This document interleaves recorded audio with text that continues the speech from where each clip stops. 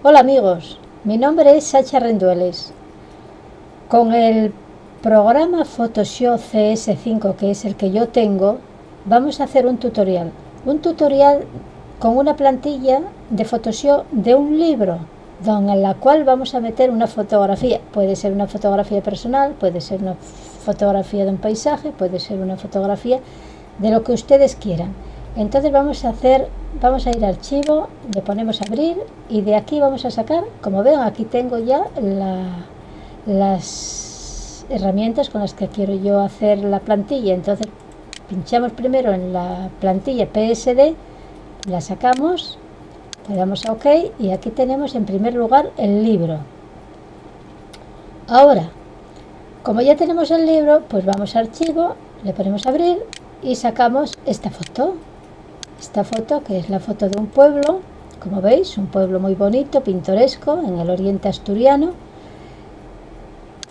que yo le tengo mucho cariño a este pueblo, entonces pues voy a hacer el tutorial con este pueblo.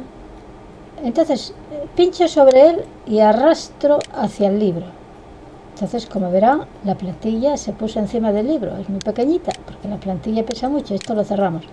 Porque la plantilla pesa mucho, pero la vamos a acomodar al libro. Con control más T la seleccionamos. Entonces aquí se nos pone en esta herramienta lo de dar vueltas, lo de girar, la giramos un poquito.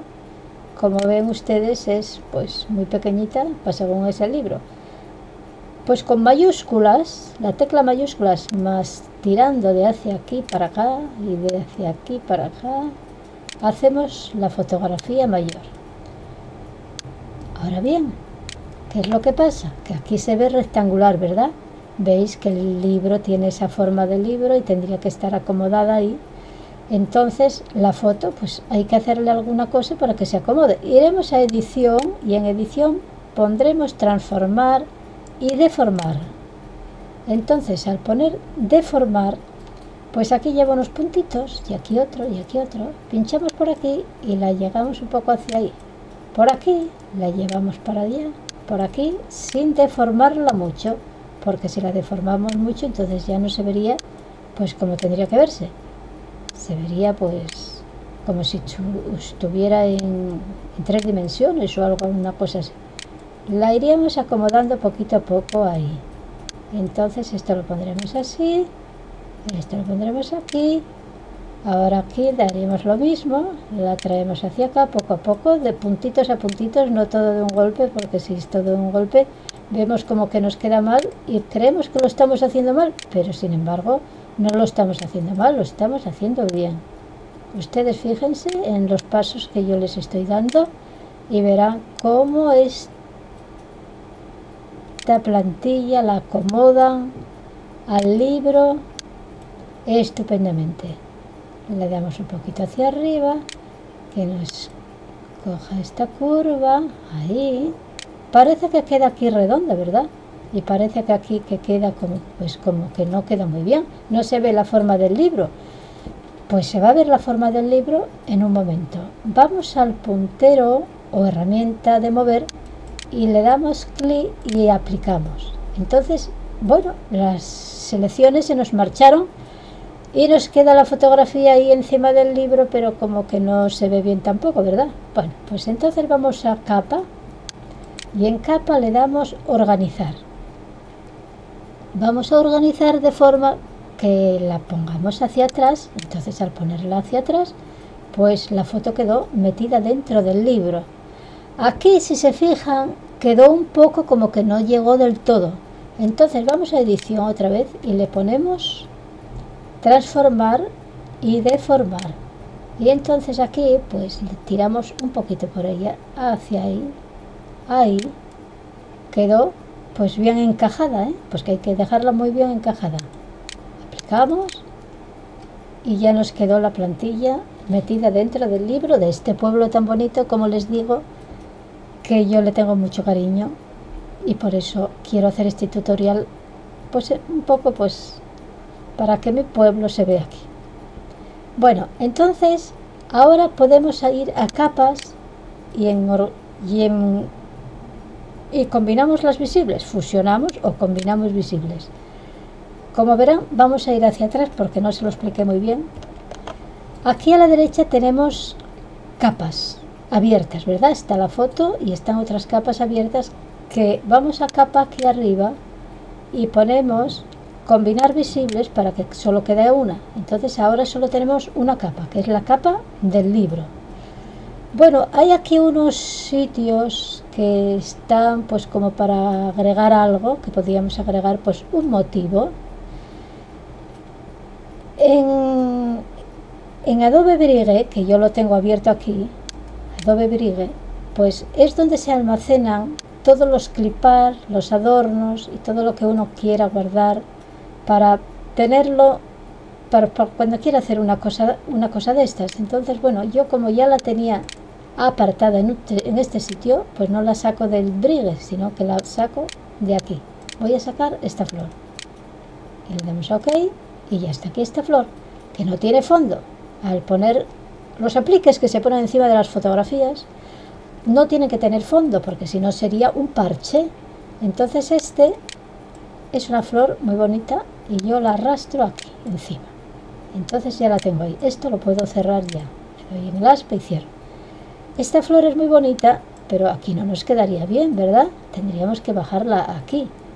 Y si la ponemos aquí, bueno, pues coge un poquito del libro de ahí, que quizás, pues a lo mejor no quede muy bonito, pero le damos a control más T y la seleccionamos. Entonces, con mayúsculas, la cogemos por una punta de aquí de la izquierda y la cerramos un poco. Entonces aquí aunque ya esté tomando un poco aquí en control aplicamos y se nos va la selección. Un poquito así sobre las tapas del libro pues queda bien no queda mal. Entonces pues aquí nos queda la plantilla ya metida dentro del libro que queremos por ejemplo sacar otro motivo para enseñarles mejor cómo se hace. Vamos al Adobe Brigue y aquí pues yo tengo muchas cosillas. Pero si estos son flores pero si le doy atrás pues puedo escoger por ejemplo vamos a ver animalitos que también tengo varios. Podemos poner por ejemplo este que está muy gracioso que es como un bueno este vamos a ver no sé cuál, por cuál no sé por cuál decidirme. Vamos a ver vamos a poner por ejemplo bueno pues el que tenía este este que parece que está le doy con el derecho y le pongo abrir con Adobe Photoshop. Entonces ya lo tengo aquí. y es muy grande. Claro, al ser tan grande, pues si yo lo quiero arrastrar aquí, me quedará muy grande seguramente. Pero no, no quedó muy grande. Esto lo cerramos, lo dejamos aquí. Pues este, claro, encima del pueblo, pues tampoco quedaría bien. Tendríamos que ponerlo aquí, en este sitio, aquí, pero claro, hay que hacerlo más pequeño. Entonces con control más T, lo seleccionamos, pulsamos mayúsculas y lo hacemos más pequeñito. Entonces lo ponemos en este huequito que nos queda aquí y le damos aceptar aplicar. Luego bueno que queremos poner aquí por ejemplo un nombre pues en este caso yo voy a poner el nombre del pueblo. Vamos a ver qué letra pudiéramos tener aquí a ver qué letras. Aquí tenemos las letras entonces escogeríamos pues una letra que sea sencilla y a la vez bonita. Por ejemplo, a ver esta, cómo nos quedaría, vamos a ver cómo nos quedaría. Yo aquí pondría, por ejemplo, en mayúsculas, Nueva de Llanes. Como tiene unos colores que casi no se ven, le doy aquí a la, al puntero de herramienta de mover y entonces ya le daría control más T y se me seleccionaría y lo haría pulsando mayúsculas, pues un poquito mayor. Le pondríamos esto aquí así. Esto se podría poner un poco esquinado si quisiéramos. Lo podríamos poner así. Lo podríamos poner así también. O como, bueno, como más nos guste. Así, por ejemplo, Nueva de Llanes, que es el nombre de este pueblo. Entonces le damos aquí aplicar. Pero bueno, si no nos gusta este color, pues entonces tenemos que usar los estilos. Los estilos los tenemos aquí. Yo tengo varios, mira, aquí están los estilos. Yo le daría, por ejemplo, a este verde, a ver qué tal. Y ya ven, se me ha puesto Nueva de Llanes en ese color. Le damos atrás y si quisiera poner otro, pues pondría otro que también le queda bien porque hace juego con las flores. Vamos a dejar este, por ejemplo. Yo creo que este pues nos viene bien, está bien. Entonces, vamos a capas y combinamos visibles. Ya tenemos la plantilla con el libro, con el gatito, con las flores, con el nombre del pueblo. Y entonces en selección, por ejemplo, podría seleccionarlo todo. Aquí se ha puesto una selección, ya ven, como una carrera de hormigas, que está seleccionado. Y después volvemos a selección y ponemos modificar borde. Modificar borde, bueno, aquí tiene 15 por defecto, vamos a darle OK a ver qué es. 15 es muy poco, le damos atrás, volvemos a selección, modificar borde y le vamos a poner aquí pues, pues, pues, pues, pues, como 25, a ver. Damos 25, bueno, no nos quedó muy ancho todavía, pero vamos, para que ustedes vean cómo es, pues es suficiente. Aquí en la herramienta esta, tenemos la herramienta de degradado más la herramienta de bote de pintura, pero en este caso vamos a pintar, vamos a pinchar en degradado. El degradado, pues yo tengo aquí varios colores, como ven. Y para el borde de esta plantilla, pues podríamos poner uno que la resaltase un poco. Por ejemplo, uno con los colores del gatito. Vamos a poner, por ejemplo, este. Este, que ni es fuerte ni es... Vamos a pulsar este. Solo con que hagamos aquí con el color ya puesto una rayita, ya se nos quedaría este pequeño borde, que es un borde, pues, que alegra un poco la fotografía y la plantilla, lo que es. Ven, aquí parece que no se quedó muy bien, no sé si es que al ser estrecho yo pinche fuera en vez de dentro, y aquí, pues, como que no se queda muy bien. Vamos a ver, no lo sé si es que está o no está. Vamos a ver, vamos a darle otro color encima por si acaso, porque este parece como que no se quiere poner como muy bien aquí. No sé si es que es claro y no lo veo con el otro. Aquí.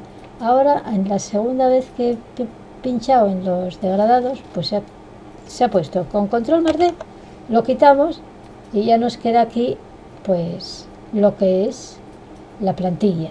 Entonces, ahora vamos a archivo y vamos a ponerle guardar como. Pues vamos a guardarla en el mismo sitio donde teníamos las fotos para trabajar con ellas.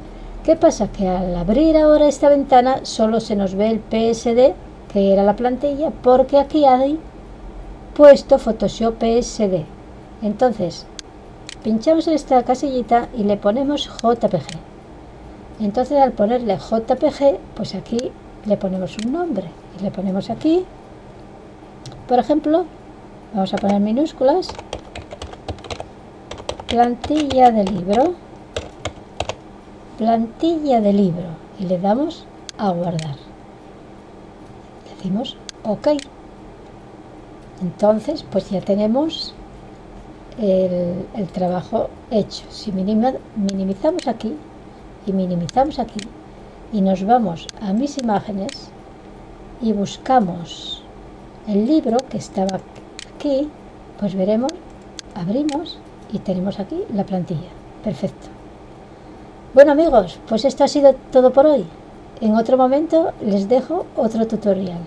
Que lo disfruten, que lo practiquen y que tengan un feliz día.